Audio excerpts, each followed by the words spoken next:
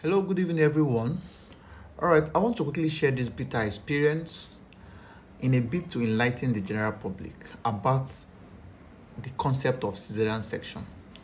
All right, we have this beautiful young woman who brought her baby today, and her baby is having what we call cerebral palsy.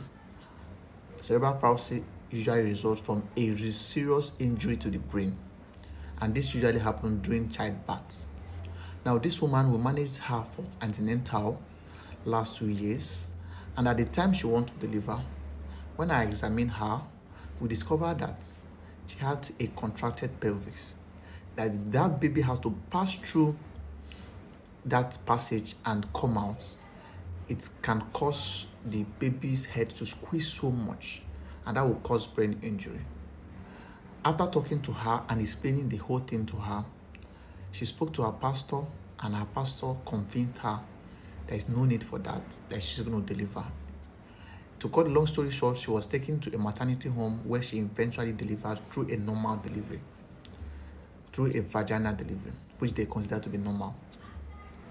But now, during that process, that made the head to contract against the brain, and that caused her, that caused the child to actually have a brain injury and that is now resulting to the present state of the child. Right now, this child cannot sit at two years. This child cannot crawl at two years. This child cannot talk at two years. Development is zero. She's only getting fatter and fatter and fatter. They have come to me now to tell me, Doctor, what can we do? We cannot do much. All we, all we can do is just to engage physiotherapy, which sometimes they do the most they can do, but I'm very sure that that will not make the child walk that may not that may not make the child talk that may not that may not return the brain injury that has already been damaged. I'm trying to say this. Doctors are not devil. People really people bind and cast doctors thinking that they are devil. The the the, the, the, the, the advice we're giving you they are coming from our past experiences.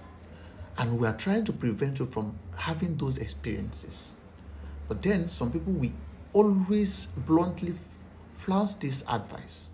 And at the end of the day, they start regretting just like what they are regretting. I'm not saying this to mock them, but I'm saying this for you to understand that when your doctor advises you, please, when you're in the hospital, listen to your doctor. When you are at, at, in the church, please listen to your pastor. Let's not mix these things. Let pastors, let me also use this medium to talk to pastors, please. Let's not always counsel against medical advice. It's not, it's not, it's not proper.